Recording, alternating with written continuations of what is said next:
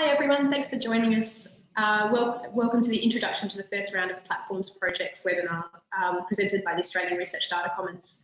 My name is Kerry Levitt, I'm the Platforms Program Manager here. Uh, I'd like to start by acknowledging the traditional owners of, of, the lands that we are on today across the country. Um, I'm on Kaurna land and I respect the Kaurna people's spiritual relationship with their country and I pay my respects to their elders past, present and emerging and I extend that respect to Aboriginal and Torres Strait Islander people who are joining us today. So this webinar, uh, it, I'd just like to talk a little bit about the platforms program before we get into the project uh, presentations. So the platforms program is part of the ARDC's platforms and software theme. And what we're trying to do with this program is enable the development of e-research platforms that are transformative so we're looking to improve the way research is conducted or accelerate research. We are looking uh, to enable sustainable e-research platforms, those that have strong community support and that will continue uh, after the initial uh, project co-investment. We, we're really looking to expand the pool of Australian researchers that have access to platform technologies. Uh, so that's across disciplines and also the number of researchers in general.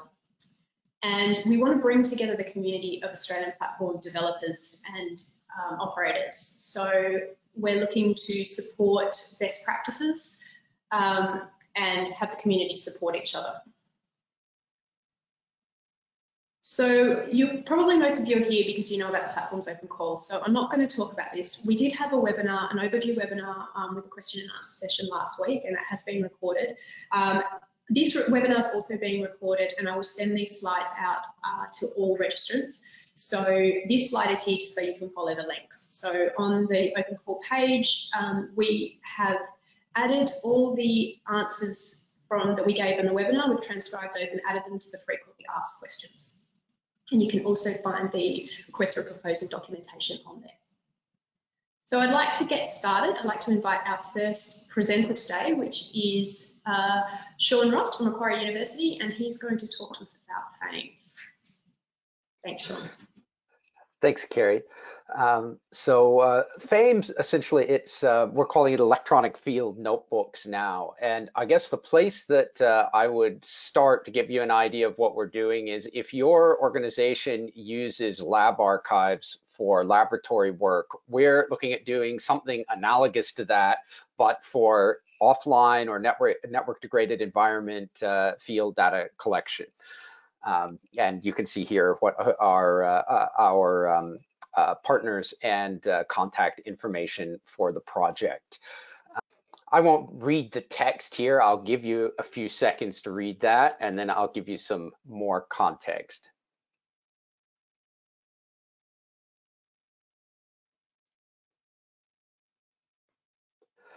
So essentially what we're doing is uh, trying to recognize the fact that that field research, whether it's in uh, disciplines like archaeology, uh, oral history, ethnography, or in uh, field sciences like ecology or geology, uh, falls into a category uh, that in the literature is described as small science or small data um, um research which uh, is characterized by its own difficulty. It may not get the press that big data does, but it's characterized by its own uh, its own difficulties, mostly around heterogeneity and diversity of data.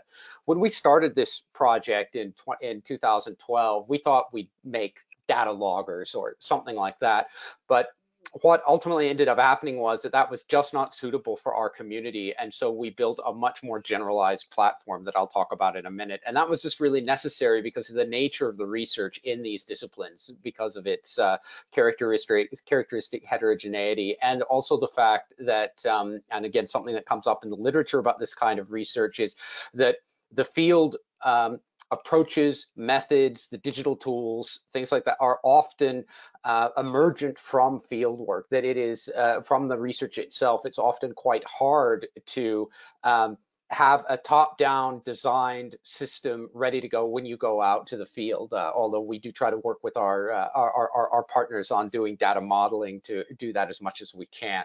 But before I start getting into the solution, let's go on to the next slide, and then I'll uh, and, and I'll start speaking to that. Um, so what the uh, uh, solution is that we're looking at, and I seem to have, uh, see, all right, so what the solution is that uh, uh, that we're looking at doing here, uh, and this is based again on experience that we've had um, since, um, sorry, yeah. So the the key thing to understand about our our platform is that um, that this isn't an app that you just download and start using on the field, but uh, in the field for data collection. But what we've what we have done and what we hope to continue to do is to uh, produce a platform that lets you essentially mint your own custom app and do it in a way that uh, makes um, sharing and transparency in the sense of an encapsulation of your methodology being available in a more or less human readable uh, way that can be then interrogated by an outsider.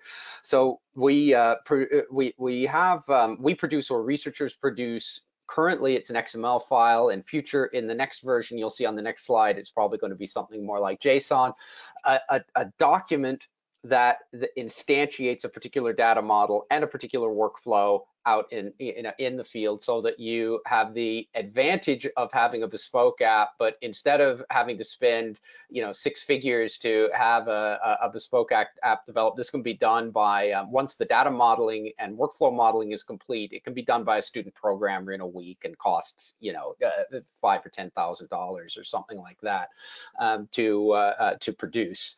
So um, this uh, uh, and at the same time, the core technology that underlies each of these does a lot of the heavy lifting around sensor support, uh, synchronization, uh, providing an API or export uh, facility, et cetera. Um, we are doing now a total technological re, a, total rebuild from the bottom up because the stack we're using now, which was chosen in 2012, 2013, has really reached the end of its useful life. Um, it's it's stable, it's in use, it's been deployed at, uh, for about for over 60 workflows at about 35 projects, um, but it's time for something new. And um, what we're looking to do is maintain the kind of flexibility that I've described previously, but um, do so in such a way that uh, is cross-platform. Right now we're Android only, so cross-platform, uh, more performant than what it is now. That uh, currently we use a relational data store database um, that uh, runs that that is quite um, uh, generalized. Uh, so it we we hit the kinds of performance um, bottlenecks that you'd expect with that. So we're looking at other solutions that aren't relational. Um, and uh, uh, we're looking at uh, again making it cross-platform, eliminating dependencies to the extent that we can, improving uh, improving security, and doing a number of other things. So um, uh, that, that again are mostly around scalability, usability. Uh, we're looking at um, uh, we're looking at producing a web application uh, that if you're familiar with Qualtrics or maybe Lime Survey that, that provides you a GUI uh, along those lines to do your customizations that will then generate that JSON file that I had mentioned previously. So that's, um, that's a basic rundown. Um, and I think I've used up my three minutes, so thank you. Excellent. Thanks so much, John. Um, I, sorry, I forgot to mention at the start. So we've got Wojtek up next. Um, I forgot to mention at the start that please, um, participants, please put in your questions now. Type them into your question box, um, and we will get try and answer them at the end. Um, but if you start entering them now in the order of the speakers, that would be really handy. So I'll hand over now to Wojtek. And his, his webcam's not working, but he is on the line. Thanks, Kerry. Uh, so my name is Wojtek Goscinski. I'm here to present the Australian Characterization Commons at scale. So characterization is the process of probing and measuring the structure and properties of materials at the micro, nano, and atomic scale. And it's essential across uh, natural, agricultural, physical, life, and biomedical sciences and engineering across a wide range of fields and domains. And uh, it is represented in the NCRIS, uh, in the field through Microscopy Australia, National Imaging Facility, ANSTO, and significant investments, of course, through uh, universities and other institutions as, as well. We do have a strategy that we've used to inform um, this project, and you can download that. The link is in the bottom right-hand corner. But the three major aspects are scale and complexity, working with digital objects is challenging, and expertise is rare. And so the project itself is addressing these through a national infrastructure program um, by helping to make characterization digital objects fair or more fair, and a national program to spread knowledge and underpin change. So the actual program itself is, is quite uh, broad across many, many different locations across Australia, uh, including three NCRIS facilities. Um, it, and it is quite broad because characterization instruments are very distributed across Australia. They are typically in laboratories. What we're doing is deploying what we call the characterization commons. Um, and this is a suite of, or an ecosystem of computing systems, data repositories, workflows, services, and um, all connected with instruments. It is not one thing, it is a wide range of capabilities um, that are deployed across four locations in Australia. Alongside that, we have three specialized programs in uh, big data electron microscopy and correlative microscopy, in biomedical imaging collections, and national tools for scattering and beyond as well. The way that we're deploying it, or, or um, the, the things that we're actually uh, we're actually doing are on the left-hand side here, and, and some of the techniques and, and technologies that we're using are on the right-hand side, and some of the things certainly that we'd be very interested in talking to people about. I'll, I'll go over the, um, the items on the, on the right. We're particularly doing a lot of work with instruments. So um, we have been underpinning and integrating instruments for many years, and uh, we have various tools and, and, tricks that we use for that and, and, and environments. We provide much of our software through a remote desktop environment available to um, researchers on the cloud. Uh, and we do develop environments uh, to provision remote desktops. We're planning to do a lot more CI/CD type work and containerization to make what we do um, of a higher quality, more redeployable, and easier to share across other uh, environments and landscapes as well. We plan to do a lot of data movement because we do do a lot of uh, instrument-based work. We have uh, the need to move data from instrument to somewhere better. Uh, so we will be working with a lot of instrument, uh, sorry, a lot of data movement tools. Um, and we're also looking to integrate with institutional research management and repositories. And that's really uh, because we consider that essential to our sustainability. We want to integrate with the actual uh, institutions that are supporting the instruments locally. Thank you. Happy to take any questions at the end. Thank you very much, Wojtek. Um, and now we have Louisa Jorm. So thank you very much for the invitation to present um, the eResearch Institutional Cloud Architecture otherwise known as ERICA um, project. Uh, the problem that ERICA addresses is one we're all pretty familiar with, I think. There's numerous examples of uh, concerns around data breaches relating to personal data. The original idea for ERICA arose out of the issues that health researchers face, in particular in trying to use large scale um, health records such as MBS or PBS claims or increasingly electronic medical records um, that come out of hospitals. Clearly, there's a massive amount of research value locked up in those data, but traditionally there's been many, many barriers to actually gaining access to them, rightly, because of the need to protect privacy. But increasingly, there are also issues relating to the size of the data and the computing capacity that we actually require to apply techniques like machine learning to these data, which exceed the capabilities of, of existing secure platforms. So ERICA is, implements one component of the, the five safes um, approach to protecting uh, the privacy of sensitive data, which that diagram shows. And in particular, the safe settings component is directly addressed by ERICA, but it also provides mechanisms for implementing the other four safes as well. For example, we have a safe re researcher training program. And I just say that I think Steve McEachern is speaking later about the Cadre uh, project, which is a sister project of ERICA and is also relates to setting up infrastructure to um, uh, operationalize those five SAFES principles. So what is Erica?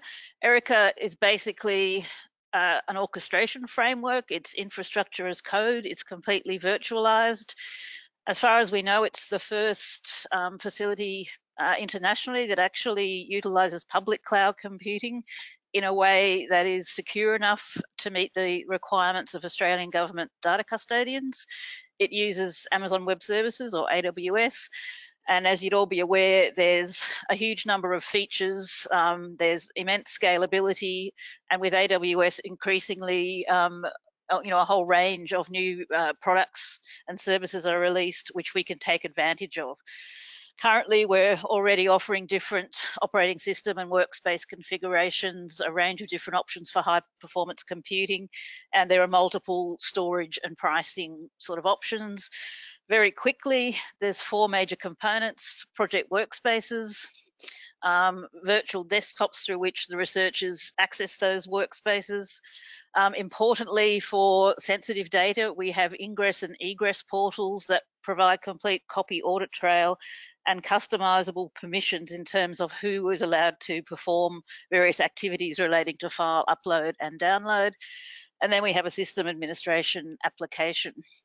Um, because Erica is entirely virtualized, there can be multiple um, instances of Erica. Um, each one can host more than 100 projects.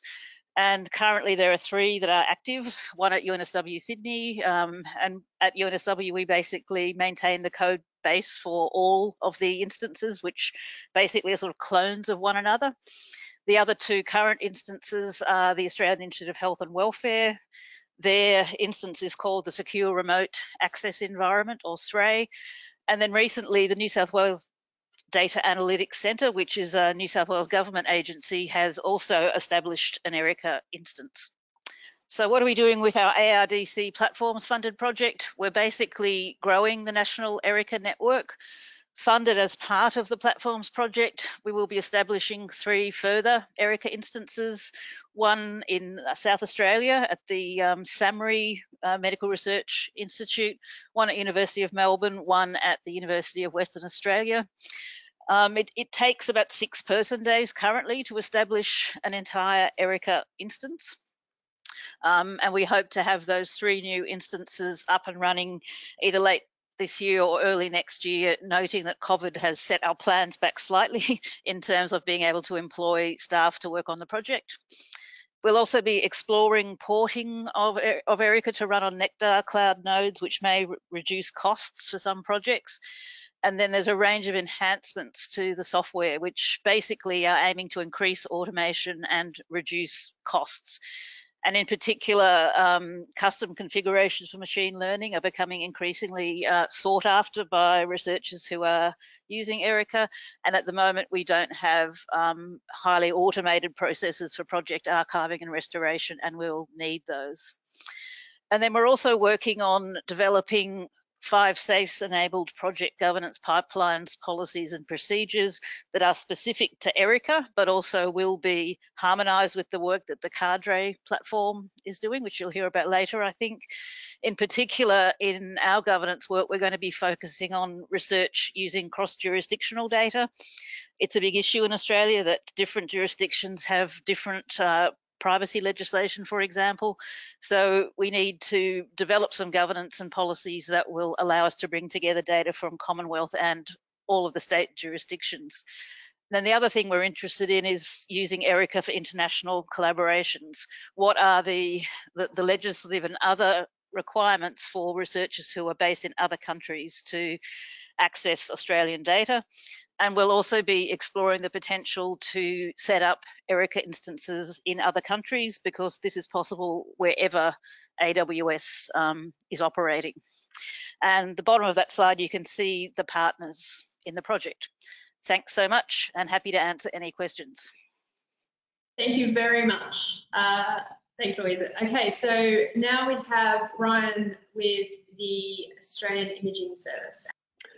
So I'll be talking about the Australian Imaging Service, um, which, as the name implies, focuses around uh, image characterization, but uh, I guess a bit differently to the ACCS focuses much more on clinical dark data. so roughly one third of the Australian population gets radiology images every year, um, and about 3.3 billion is spent on obtaining these images. To uh, put that in perspective, that's about four years worth of the cumulative NHMRC funding for the entire country. now, wouldn't be spectacular um, if there were a easier process to uh, actually use some of that clinical data for research purposes, and that, that's part of what this project uh, aims to facilitate. One of the options though with using that data is a lot of the tools and processes for de-identifying the data and moving it from a clinical site to a safe research site are very ad hoc. They're almost always built from scratch by the research group, um, which means they're very prone to errors. Let's not even talk about the ones using Dropbox. Um, outside of clinical formats, um, there are also a large variety of data formats with each vendor having a different one, which makes it very hard to work with. And of course, there are a lot of related modalities to an imaging session, electrophysiology, blood work, etc., that you would also want to handle in the same way. And lastly, there's a lack of consistent quality assurance um, and provenance on the metadata, which makes it very hard for secondary reuse because you don't know how trustworthy the data is. So our approach is to build a distributed national federation of research repositories that are linked directly to clinical instruments and analysis tools. So four main streams. The first is we want to de-risk the data transfer. Um, so by using standard technologies to, to bridge the clinical and research sites, um, we can have much better control over the de-identification, access controls, um, and importantly, auditing so that the clinical sites can actually see not just the first researcher, but all subsequent reuses of that patient's data. The second is making all of these, excuse me, nodes uh, trusted data repositories, um, having National Imaging Facility personnel uh, approve quality assurance and quality control processes, um, reproducible analysis pipelines, and importantly, in-depth reporting to see who's actually doing quality control, who's doing the proper analysis, etc. Third, um, the technology we're using, XNAT, um, has historically come batteries included with DICOM, so it means it's more or less plug and play with clinical settings. Um, but as I mentioned, there are a lot of modalities um, that aren't included out of the box. So what we want to do is expand the support for arbitrary file types. Um, this includes cutting edge imaging modalities where the researcher may be creating their own file type and adopting open formats um, that the community has decided where that's, that's the way forward. And lastly, no platform should stand on its own. So we want to integrate with an ecosystem of tools used around imaging and radiology research. Um, it's cut off a bit, but this is in two categories. One, internal, so everything can be initiated from the browser from within the Australian Imaging Service. And the second is external, where we provide an API and authentication mechanism to integrate with other platforms and services. um, so lots of colors. Um, what the Australian Imaging Service is, is all the capability inside the dotted blue line. So we deploy upload tools and de-identification tools at university sites and clinical sites that use a standard configuration and de-identification profiles for the entire federation. These will push to individual nodes using the XNAT platform which houses internal viewers for, for viewing the data, um, a pipeline engine, which leverages Docker, Kubernetes, Gadgetron, and Clara for image reconstruction, machine learning, in any uh, pre-packaged pipelines that might be appropriate. And importantly, a, an API that allows us to integrate with other platforms such as REDCap, the Characterization Virtual Lab, um, SERP, which is the I guess, equi uh, an equivalent of Erica um, used over in Wales and the UK, which uses XNAT as the main radiology um, component. And importantly, you. Um, part of this talk is how we can integrate. Um, so there's a whole API that we would basically want to act as a national service to connect to the instruments and data in a secure way to be available inside other platforms. Um, and that's it. Excellent. Thank you so much, Ryan. Uh, now we've got Professor Stuart Barr. Thank you, Kerry. Um, so yeah, I'd just like to spend a few minutes talking about the uh, Australian Transport Research Cloud.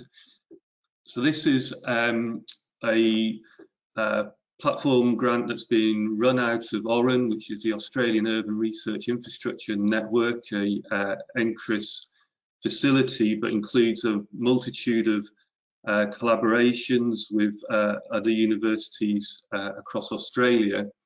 Uh, and what we're trying to achieve in the uh, ATRC project um, is two things. One is to start to develop and build a generic uh, capability for modelling and simulation across cities and urban areas within Australia, um, one which is uh, scalable, uh, interoperable and develops an ecosystem approach to, to model coupling uh, and analytics.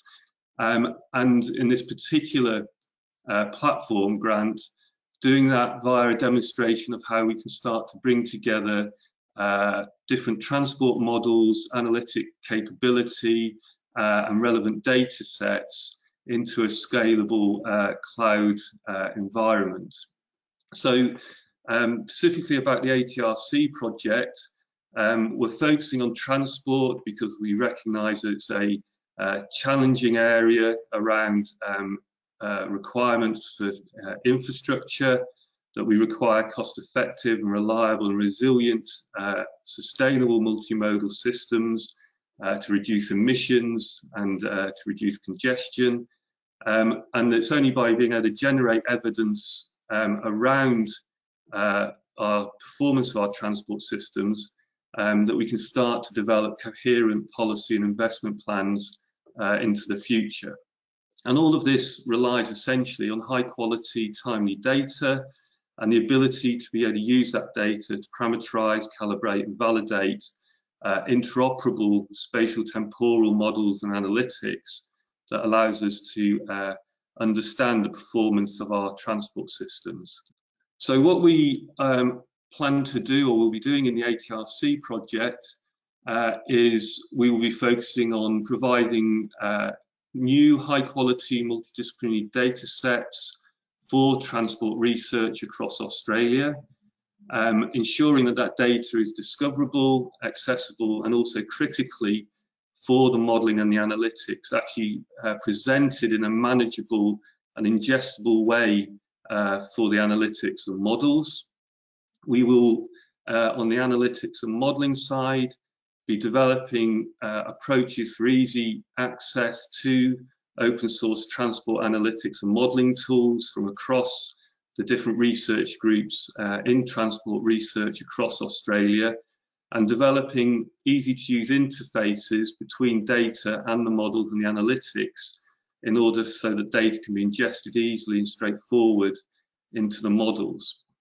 And in order to do this, our sort of platform or the, the infrastructure that we'll be developing um, will be based around uh, easy access to the data. So we'll be focusing um, on uh, accessible data based around uh, fair data set principles. Uh, and then also the, uh, the development of cloud-enabled transport analytics and modeling that can leverage off uh, those data sets. And so the sort of, if you like, the little bit detail on actually how we're going to uh, do this. Um, AURIN has an existing metadata catalog, uh, which is uh, extremely rich in terms of the uh, disparate data sets across Australia. It has access to, uh, with regards to um, urban uh, areas and cities. however, we intend to extend that to the DCAT data catalog vocabulary standard from W3C um, which will increase the uh, accessibility and discoverability to uh, federated data across multiple sites uh, in relation to transport data. We're also going to extend AURIN uh, so that it can handle the uh, emerging data standards and metadata standards around transport uh, data, uh, so GTFS and data that's coming out of AG, ASGS as well um, around the statistical data for Australia. And uh, take those data sets and allow them and meld them into uh, manageable data cubes from APIs that allow us to present those to the models and the analytics, um, and then containerizing uh, and cloud deploying the actual tools, uh, the net transport network analysis tools and modeling tools uh, out into as cloud services um, for the research community. The other area that we're very keen to look at is around interoperability um, of these models and of the uh, analytical uh, workflow. And so we'll be looking at adapting Jupyter notebooks um, and also using um, approaches like Apache Argo to allow us to do event-driven um, workflow containerization um, of the models in order to make them interoperable uh, between each other. So the overarching ambition of the, the ATRC project is um, to develop this cloud-enabled modeling and simulation framework uh, around urban data science um, and focusing primarily in this piece of work around how we do that for transport research so that the tools and the models are made more uh, widely available to the research community across Australia. And uh, if you'd like to find out any more about the, the ATRC project, uh, then please feel free to either contact myself or Michael Rigby, who is the uh, ATRC uh, technical manager. Excellent. Thank you very much, Stuart. Next, we have uh, Nigel Ward, who's going to talk about uh, Biocommons. Thanks. Thanks, thanks, Kerry. I'm going to spend the next three minutes um, doing two things. One is decoding the jumble of words in the title for our project there. And the second is maybe identifying some areas of potential collaboration with other partners. Um, so I'll start by uh, defining Biocommons. Um, it's a multi-year, multi-partner, multi-million dollar initiative um, looking at building digital infrastructure capability for the life sciences. It's got a variety of partners a subset of whom are on this project, and you can see the, the logos for them below. Uh, so why does Biocommons exist? Well, um, like many of you, uh, life sciences, or like many domains, life sciences is experiencing a data explosion, um, rapid advances in sensing technologies, uh, speed of sensing technologies, capability, um, cheapness of sensing technologies, meaning we're seeing a data explosion like the one that you're seeing in that graph on the right, which is showing exponential growth in the data being, life sciences data being contributed to international repositories. So Biocommons was created in reaction to that. The platforms project I'm talking today about today is, is addressing three problems that, are, that arise from that data explosion. Biocommons is addressing many more. So the three we're trying to address with the with the platform project. First is around providing researchers with access to the methods and tools and techniques that can help them analyze those data that I just described and deploying them on a variety of different infrastructures. The second challenge is to help researchers actually access those data uh, we've discovered that the data is uh, is very distributed. Researchers might have it in their own lab, they might have it in an institution, it might be generated by a national collaboration like the Bioplatforms OzMammals initiative, or it could might exist in those international repositories. We want all of that data to be accessible from our platform. The third challenge we're addressing in the platform project is providing compute to underpin those analysis, analysis tools on that data.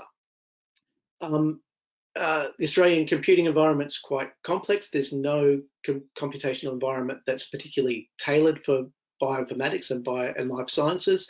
so we're providing access to, we aim to provide access to institutional, uh, national, commercial, and even someone's laptop underpinning this platform. That's the three things we're trying to do.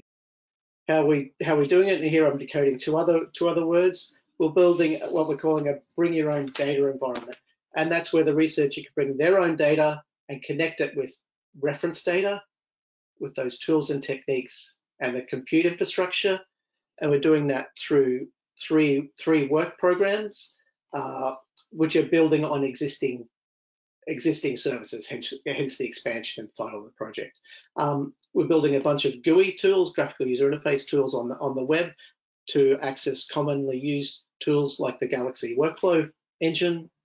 We're building a, a companion command line interface to, to that graphical interface for researchers who, who want to tinker with tools a bit a bit more or, or might maybe extend the sort of um, analysis that can happen and we're, we're having a major investment into getting data from all of the instruments that distribute around the nation through national investments into this platform.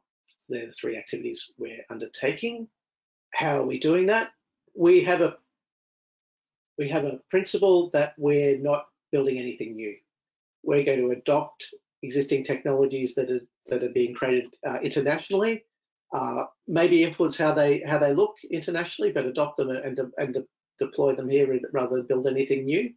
And rather than go through all of that that word jumble here, I'll just identify a few areas that for potential collaboration. Um, the Galaxy workflow engine I mentioned earlier is a generic workflow engine that was built for bioinformatics, but can be and has been used by other other communities. Be really interested in looking how we could redeploy it for other communities.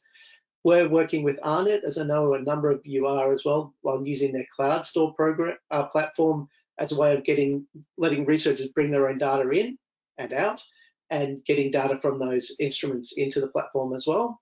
It's a big interest in collaborating there. We're working with um, a number of international projects such as the CERN Virtual Machine File System and the Genomic Alliance for sorry Global Alliance for Genomic Health uh, Data Repository Service on distributing reference data internationally and tools and workflows internationally. And we're using a bunch of container technologies to provide access to the tools and making sure that they're deployed on a variety of uh, back-end research infrastructures, things like biocontainers, workflow engines like Snakemake and Nextflow that sit on top of Kubernetes. So hopefully I've dejumbled the, the, the, all of the acronyms in our, in our project title and give you an identified a few areas where we could potentially collaborate. So I think that was three minutes, Kerry. Over to you. Thank you very much, Nigel. Okay, so next we have uh, Elisa from EcoCommons. Actually, we might go on to the next one because I think Elisa may have dropped off. So uh, I'm going to forward these slides and we'll come back to her when she can come back on. So next one, uh, hi. Hi, hi, hi, Kerry. Thanks. Um, I'm Komathy, I'm from Monash University. Um, I'm going to speak about the environments to accelerate the machine, learn, machine, machine learning based discovery here. So this is a collaborative project between um, Monash, uh, the data science platform, Massive, and the University of Queensland.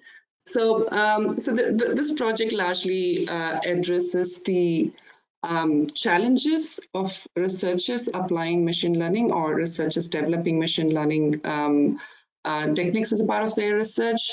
Um, so as are all aware, the machine learning techniques are used widely across multiple range of domains, right from neuroscience, economic sciences to arts and and and uh, uh, business. So the um, this started with the ARDC discovery activities. Um, as part of the discovery activities, we conducted a survey um, across um, multiple institutions within Australia and New Zealand. Um, we surveyed 128 research groups, out of which 68 research groups responded. Uh, the survey largely focused on understanding the challenges that the researcher face in applying the data science and AI uh, uh, machine learning to their research. Um, so the, the graph summarizes the um, kind of challenges that the researcher face. Uh, the key challenges identified obviously as a compute capacity and the environments to do their research. Um, data accessibility, the availability of data, sensitive data, uh, sensitivity associated with the data, skills and expertise itself in, in applying machine learning and other other researches, uh, other challenges identified are the, the knowledge around techniques and, uh, and the communities itself. Um, next slide, please. Um, sorry, if I can just add one more there. So the um, the report from the survey can be found here. There's a link which has been provided there, and it's it's uh, the report can be downloaded. So based on the challenges identified, uh, we put together a program of work for the platform project, uh, which primarily aims at uh, first accelerating the um, accelerating the research by first providing an ML environment in which the researchers can quickly um, do their research or, or possibly fail as well and, and uh, understand how, how we can accelerate that part. Um, also promote the interdisciplinary research basically around the tools and the techniques and the libraries which, um, researchers from different domains use. Uh, and also to see how we can scale this across um, uh, multiple national partners like NCI and Pawsey. So the, pro the program of work involves around four uh, major activities. One is uh, developing that integrated development environment itself, uh, which has all the required tools, probably some reference data, SDKs, and libraries. Um, two is also improving the um, end of the day the the the the, uh, the underlying infrastructure are these um, expensive high performance computing um, so it's more about now utilizing the HPC itself in the most efficient way and also having that knowledge available across the multiple HPC uh, centers and administrators. Uh, three is about providing targeted training to the research community more around tools and techniques and also around um, um, and also around developing these um, um developing these tools and techniques uh, appropriate for their research. Uh, fourth is building the communities of practice, um, either around the domain of research or around uh, around the tools and techniques they apply in, in their in their particular research. So uh, we created three work packages as part of this platform project. Uh, the first one focuses on uh, developing the integrated development environment, uh, which first is providing an interactive desktop, um, uh, developing analysis workflow suitable for every kind of task the researcher perform. Um, um, three is improving the link to file systems on HPC environment and also container, containerization. Um, the work package two focuses more towards efficient use of tools and and and um, and knowledge around the tools and how do we um, provide support around these tools. Um, so um, which which revolves around creating documentation and user uh, guides for researchers to use. Um, the, this work package also involves creating data catalogs and libraries which can be readily available. These are specifically reference data sets which, which could be used across multiple um, research areas and domains.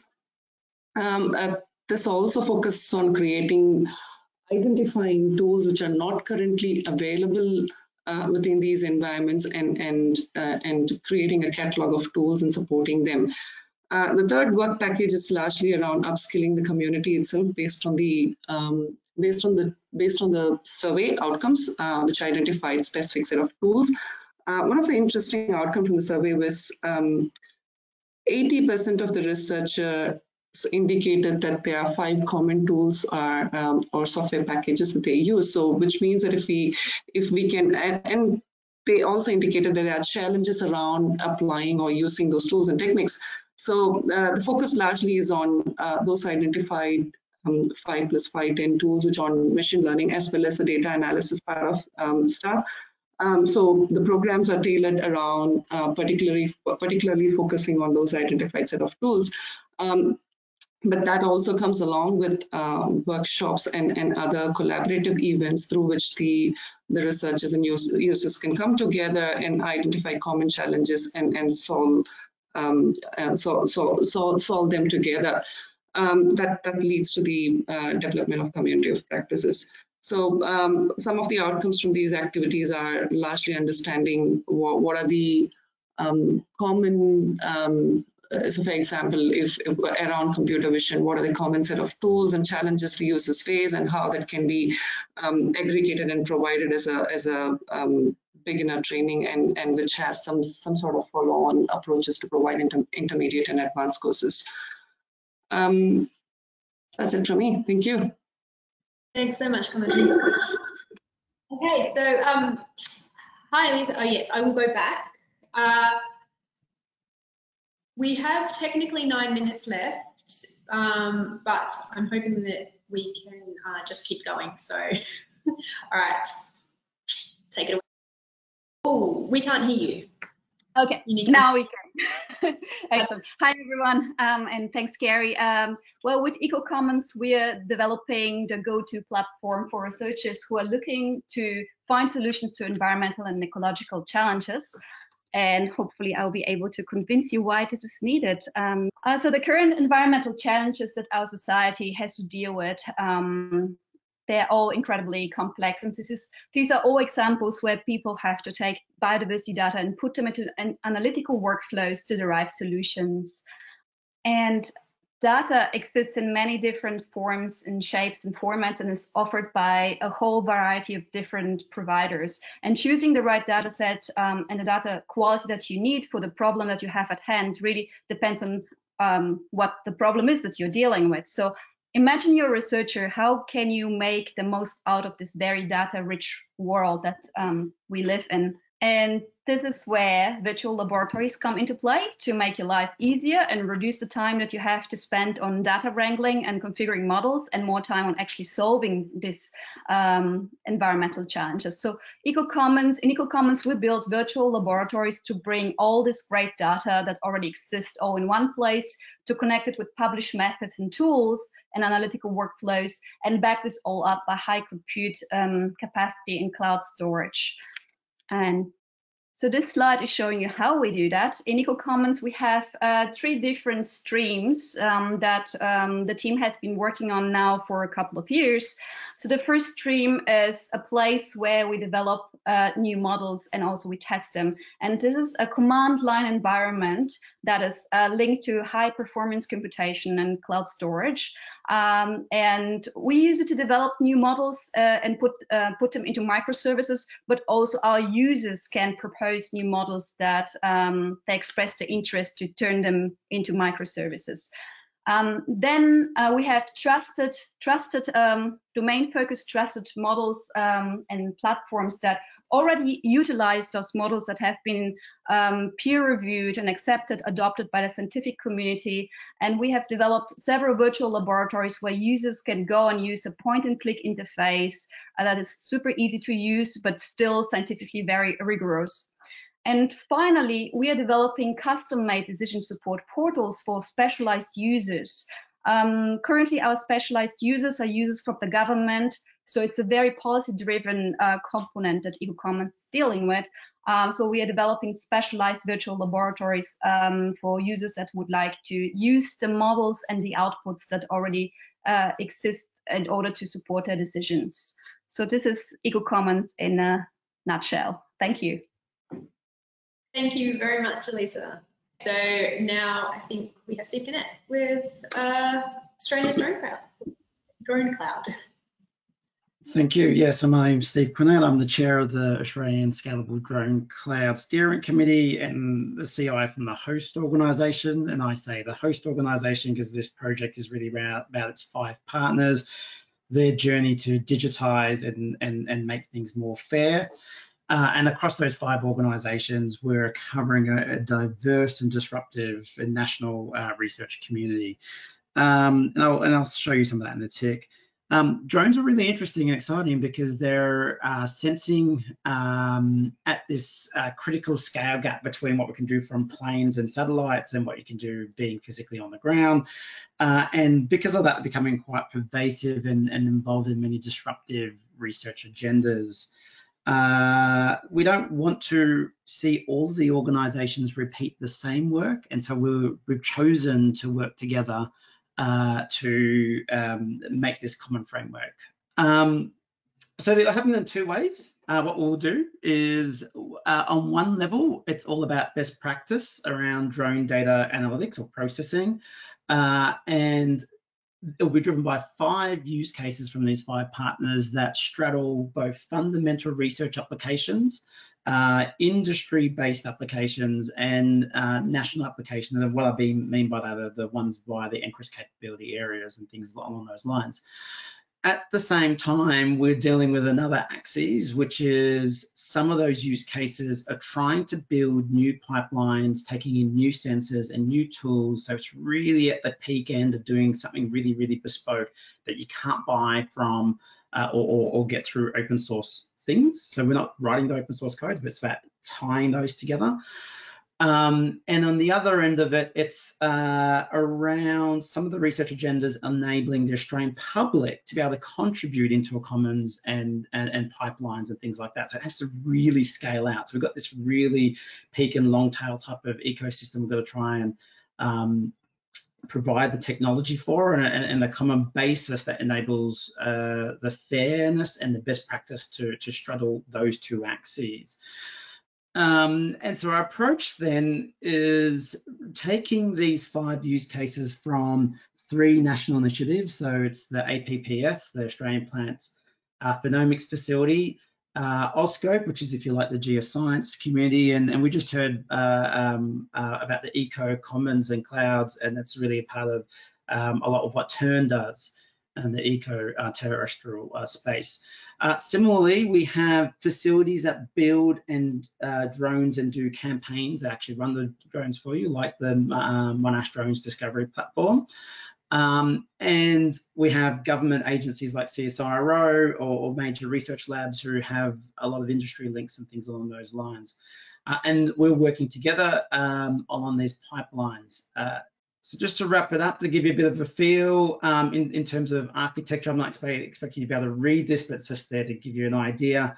Uh, a bit of a, a, map that takes all of the uh, adopt, uh, ad, adapt, uh, and, and, and develop uh, uh, technologies that that the, that the partners have suggested that we'll trial and um, and to and to create this underpinning um, uh, pipelining environment that allows both that peak uh, VDI based advanced tools that push things off to HPC on one end.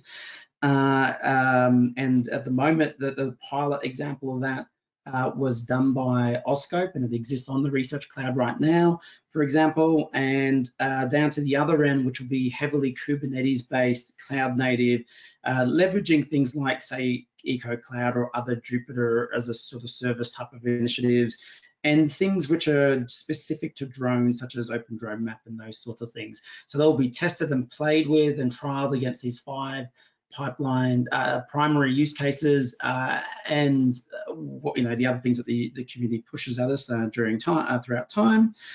Um, and to do that, to go through that journey, there is um, a project plan that's on the right-hand side. It really is a journey of uh, five to six sprints, Uber sprints, um, that in, um, and we're coordinating the national community that's involved in this into these sort of two-week sprints within those Uber um, uh, packages to, to, to, deliver the whole program. Um, and what's really, really important is at the end of each Uber sprint, uh, we re-engage with the user community, as in those pipelines, that steering committee, uh, to ensure that the technologies are appropriate um, and, and do uh, a valuable role in the pipelines. And so that's our project. Thank you. Thanks very much, Steve. Um, and now we have the Cadre project. So we have another Steve presenting. Hi, Gary. It's uh, Dr. Steven McEachern here from the Australian Data Archive. So I'm presenting on the, the, the Cadre Coordinated Access for uh, Data Researchers and Environments uh, project.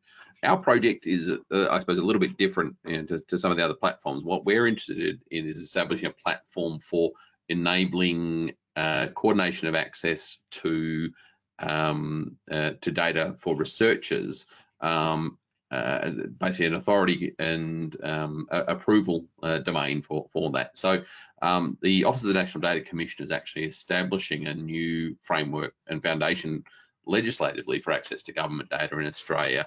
What, but there isn't basically an implementation framework uh, for this. So while we might have the, the principles in place, um, actually be able to implement this uh, either procedurally or technically, uh, the, the, the, framework isn't available.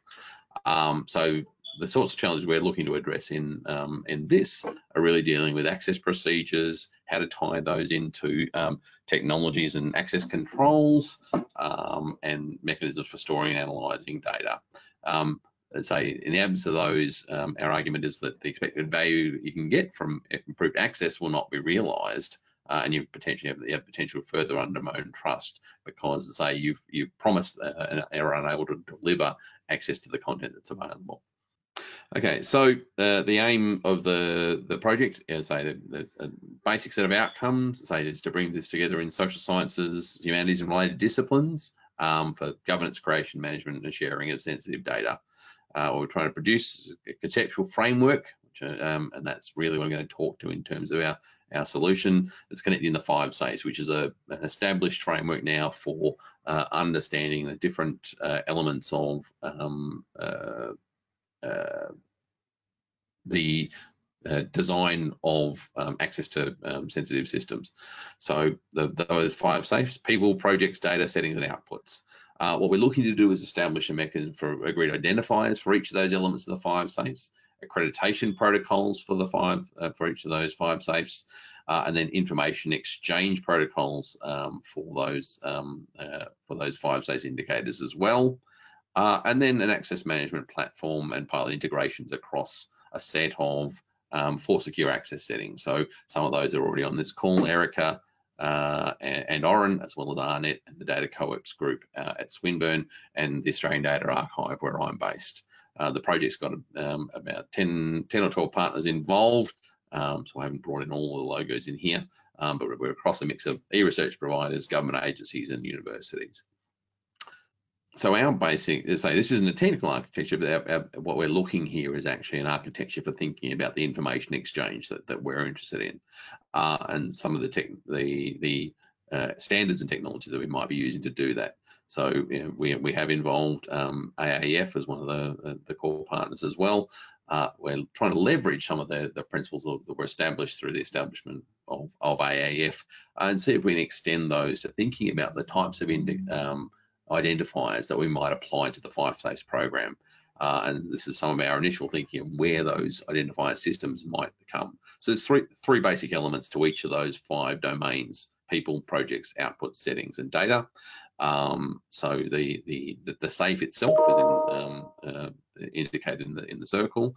The type of identifier and these pro, uh, provisional ideas for the identifiers we might use. Uh, and DOIs on data, DOIs on outputs, um, uh, RAIDs potentially for the for projects, uh, and we're, we're, certainly looking for an identifier system for applying to safe settings. That is the stack of um, hardware and software that might be associated with delivery of a, a service between, between a domain. Uh, and then the, the other element to this is, well, what are the attributes that you associate with those identifiers? So what are the, the accreditation systems that we can use and how can we um, transfer that accredited information across organizations? We have models um, in place uh, things like grant applications in the, the project domain, but particularly we're picking up on some work done in the US, the researcher passport system established by the Inter University Consortium on Political and Social Research at the University of Michigan uh, as, a, as a model that's been adopted in the Australian, uh, in the US domain. And we're looking for similar sorts of frameworks um, across those other domains. That's it from me. Thank you very much, Steve. Thank you to all of our presenters today. Um, so we have three questions that have come through. Um, if you can, I know we've run out of time, but if you can bear with me, we will, I'll stop sharing my screen. Um, so the first question that we have is uh, for Wojtek. Um, if data curation is a second priority to publication and data is often non-reusable, does that impact on the capturing data provenance information in the platform? Um,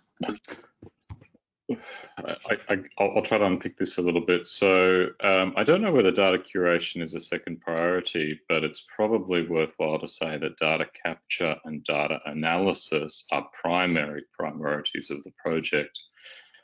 Um, so we consider it really important to capture data at the point of the experiment.